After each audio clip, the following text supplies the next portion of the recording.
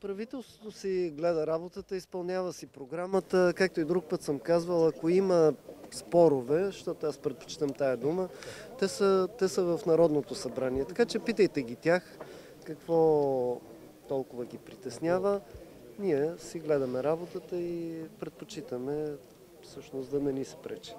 А има ли Очаквате ли бюджета на държавата бъде, да бъде прият или а, очаквате ли обструкции изобщо от вашите партньори в пленарна зала? Съвсем нормално е, когато се обсъжда бюджета, да има различни предложения, но аз очаквам бюджета да бъде прият на време и да бъде балансиран такъв какъвто е подготвен. Разбира се, нормално е при обсъжданията да има различни дискусии, но бюджетът е добре подготвен, така че не очаквам особени проблеми. Обмисляте ли механизъм за преодоляване на кризата в НЗОК и разпределението на постовете и в този механизъм ще участва и ДПС? Ето ви пример за въпроси, които трябва да зададете в Народното събрание. Аз не съм част от процесите на гласуване в Народното събрание, затова адресирайте ги към тях. Благодаря. Благодаря ви и аз. А, сега се сещам, тук има, извинявайте, има и протестиращи, които настояват да вземете отношение по въпроса с замърсения въздух, който дишат години наред. Това, което ще направя сега да отида да, да ги чуя. Говорих с министър Попов. В най-скоро време той лично ще отиде, за да се запознае на място. Заместник министъра няколко пъти е бил в Русе.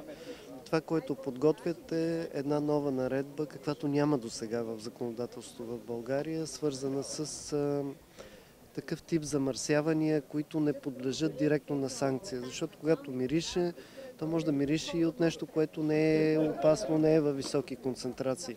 Така че част от проблема е, че в момента няма разпоредби, които да могат да се използват в такива конкретни случаи. Отново поемам така ангажимент да работим заедно и с местните власти, с Общинския съвет, за да можем да решим проблема по някакъв удовлетворителен за хората начин. Но няма лесно решение в момента. Господин?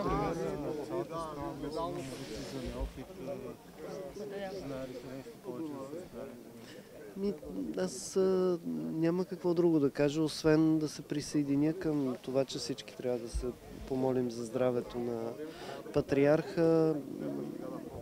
Знаете колко важна е църквата, колко високо уважавана е в нашата държава.